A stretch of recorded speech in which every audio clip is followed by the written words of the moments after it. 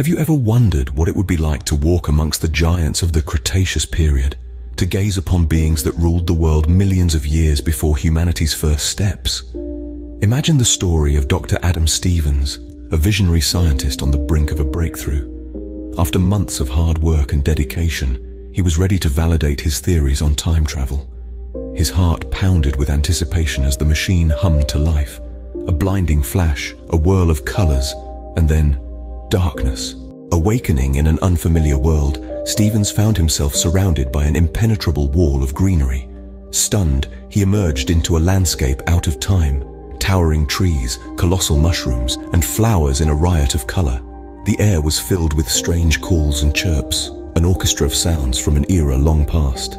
As the reality of his situation dawned on him, Stevens realized he had traveled to a time before humanity, to the age of dinosaurs.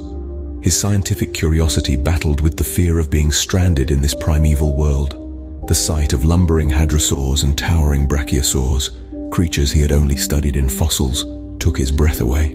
Nightfall brought new terrors, the air filled with unearthly shrieks, hinting at the ruthless rulers of this primeval world. Sleep eluded Stevens as he grappled with fear and fascination in equal measures. With the break of dawn, the grim reality of his situation became clear. The mangled remains of a creature hinted at the presence of a formidable predator.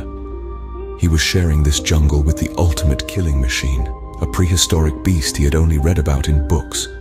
As another night descended, Stevens huddled by his flickering fire. The eerie roars in the darkness a stark reminder of the dangers lurking nearby. He knew he must repair his machine and return home before he became the next prey. This journey through time brings a new dimension to our understanding of the world before us. It reminds us of the majesty and terror of the primeval world, the beauty and brutality of nature, and the courage of a man trapped in time. The adventure, however terrifying, is a testament to the indomitable spirit of exploration and discovery.